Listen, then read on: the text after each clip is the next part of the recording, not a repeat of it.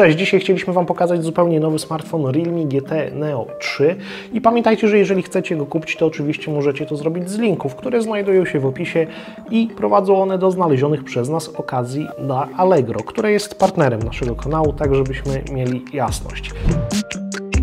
No i właśnie ten Realme GT Neo 3 to jest kontynuacja serii GT Neo 2, która no, była wielkim hitem.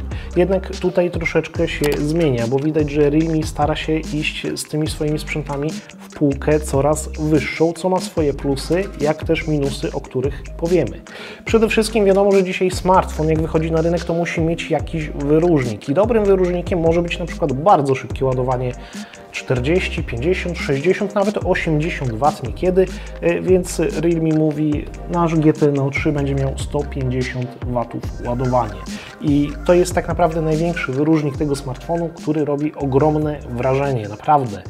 W zestawie oczywiście mamy odpowiednią ładowarkę 160W, ale telefon, jak mówiłem, obsługuje 150W ładowanie. Mamy też przewód, mamy też etui silikonowe. Taki standardowy zestaw, chociaż w dzisiejszych czasach coraz mniej.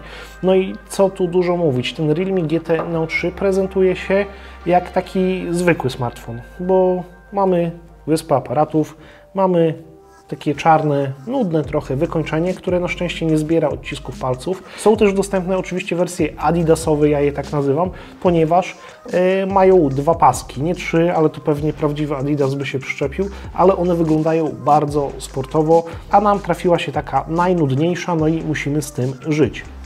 Z przodu smartfon też wygląda jak smartfon, bo ramki cienkie, z dołu trochę grubsza, no absolutny standard. To, co się wyróżnia, to jest na pewno panel AMOLEDowy 6,7 cala, 120 Hz, więc piękne kolory, idealny dla graczy i tak dalej. Nie wiem, czy da się stworzyć po prostu lepszy ekran. A poza tym mamy tutaj jeszcze głośniki stereo z obsługą Dolby Atmos, więc mamy nie tylko bardzo dobry obraz, ale też dźwięk, jeżeli nie potrzebujemy oczywiście słuchawek przewodowych, no bo wyjścia słuchawkowego tutaj nie ma. Skoro mówię o ekranie, to warto powiedzieć, co jest pod nim. A pod nim jest czytnik linii papilarnych, który działa bardzo dobrze i szybko, jednak jest troszeczkę za nisko i niewygodnie. To mnie trochę dziwi, bo w poprzednich telefonach Realme to położenie czytnika linii papilarnych było znacznie lepsze. Teraz czas powiedzieć o specyfikacji, bo kiedy czytacie o Realme GT Neo 3, to możecie usłyszeć, że są dwie wersje, a w Polsce będzie jedna, ta mocniejsza.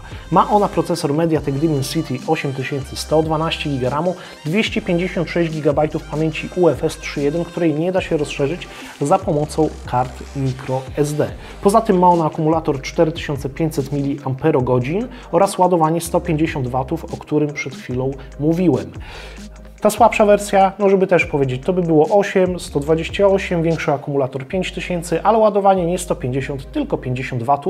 I tak naprawdę, czy coś na tym tracimy? Moim zdaniem nie, bo niebawem wejdzie także do sprzedaży Realme GT Neo 3T, o którym też nagramy osobny film. Część z Was może się zastanawiać nad tym Mediatekiem Dimensity 8100, bo jest takie no opinia, że Mediatek to taki gorszy.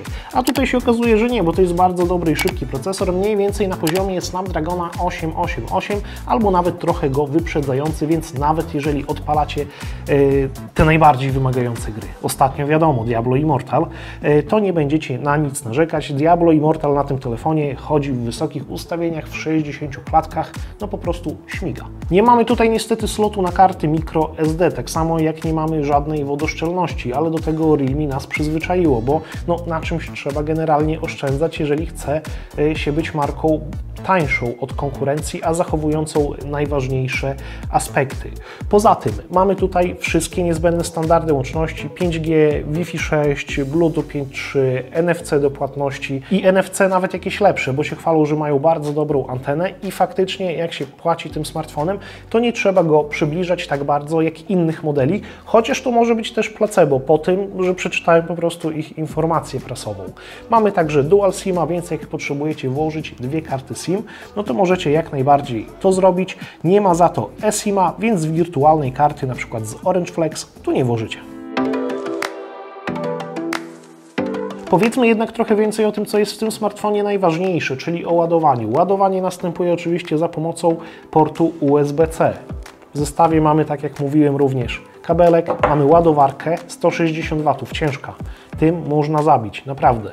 Więc yy, mamy tutaj mnóstwo, ale to mnóstwo mocy i Część ludzi może się nawet bać, że to jest za mocna ładowarka do telefonu i ja się nie dziwię, no bo ja sam wcześniej z ładowarki 160 W do telefonu nie korzystałem, ale muszę Wam powiedzieć, że to robi robotę, bo 50% akumulatora, konkretnie od 10 do 60%, bo wiadomo, że dla bezpieczeństwa akumulator musi ładować się troszeczkę wolniej, yy, no to właśnie od 10 do 60% ładuje się 5 minut, a od 0 do 100% smartfon ładuje się w 16 minut. To jest niesamowity wynik, który przebija nawet smartfony od Xiaomi, bo bodajże przy Xiaomi 11T Pro tam mieliśmy ładowanie chyba w 24 czy w 25 minut, a tutaj 16. To jest różnica, więc kiedy rano obudzicie się, zobaczycie, że Wasz smartfon jest rozładowany, a Wy spieszycie się do roboty, no to szybko podłączacie telefon, Idziecie myć zęby, zjeść śniadanie, umyć się, wracacie i telefon nie jest do połowy, on jest w pełni naładowany. Została nam do omówienia tak naprawdę ostatnia rzecz, czyli aparaty.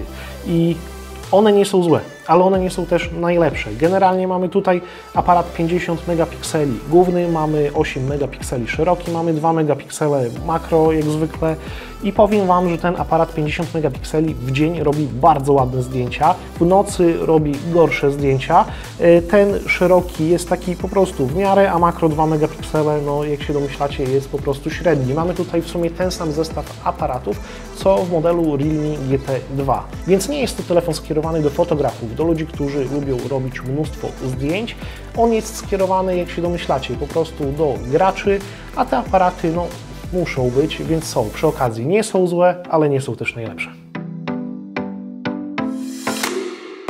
Nagrywamy ten film przed premierą, więc nie znamy dokładnej ceny Realme GT Neo 3. Ona zapewne teraz pojawia się na ekranie, ale moimi źródłami udało mi się dowiedzieć, że ta cena będzie gdzieś pomiędzy 3100 a 3400 i czy w tej cenie warto kupić ten smartfon. Tak naprawdę zależy czego potrzebujecie. Jeżeli szukacie świetnych głośników, świetnego ekranu, wysokiej wydajności, bo ta specyfikacja to wszystko jest naprawdę super, y, dobrego naprawdę działania i ekstremalnie szybkiego ładowania, to jak najbardziej jest to smartfon dla Was.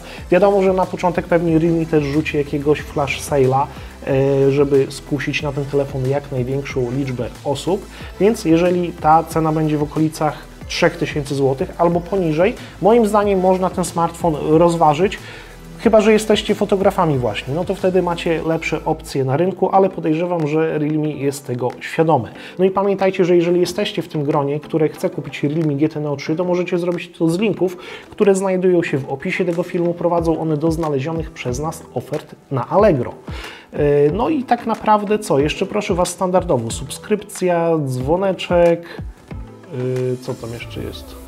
Łapka w górę, łapka w górę, dajcie to łapkę dla zasięgu, no i w komentarzach napiszcie, co sądzicie o tym modelu, czy to ładowanie robi na Was wrażenie, czy on ogólnie robi na Was wrażenie, czy nie, no i czy jest dobrze wyceniony, bo jak wiadomo, z tym można zawsze podyskutować. I to jest dobry temat do rozmowy, a my widzimy się niebawem w następnych filmach. Cześć!